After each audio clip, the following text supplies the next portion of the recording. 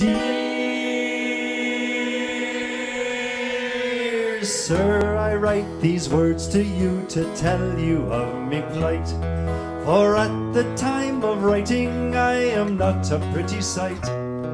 Me body is all black and blue, me face a deathly grey.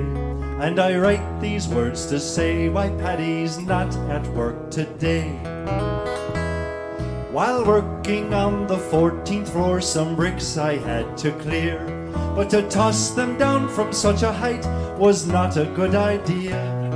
The foreman wasn't very pleased, he is an awkward sod. He said I had to cart them down the ladders in me hod. Well, clearing all those bricks behind it was so very slow. So I hoisted up a barrel and secured a rope below. But in me haste to do the job, I was too blind to see that a barrel full of building bricks was heavier than me.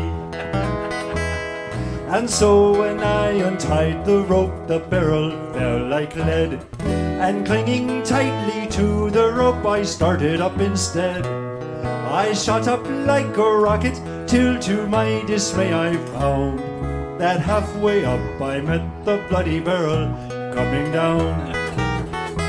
Well, the barrel broke me shoulder as to the ground it sped. And when I reached the top, I banged the pulley with me head. I clung on tightly, numb with shock from this almighty blow. And the barrel spilled out half the bricks some 14 floors below. Now, when those bricks had fallen from the barrel to the floor, I then outweighed the barrel and so started down once more. Still clinging tightly to the rope, me body racked with pain. When halfway down I met the bloody barrel once again. Well, the force of this collision halfway down the office block caused multiple abrasions and a nasty state of shock. Still clinging tightly to the rope, I fell toward the ground, and I landed on the broken bricks the barrel had scattered round. Well, I lay there groaning on the ground, I thought I'd passed the worst, but the barrel hit the pulley wheel, and then the bottom burst. A shower of bricks rained down on me, I didn't have a hope. As I lay there bleeding on the ground, I let go the bloody rope.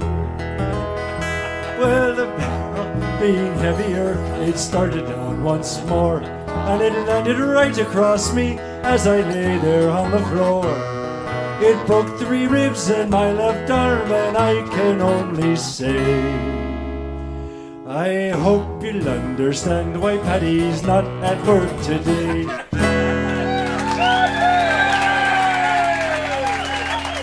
That's Dennis. Give him a hand.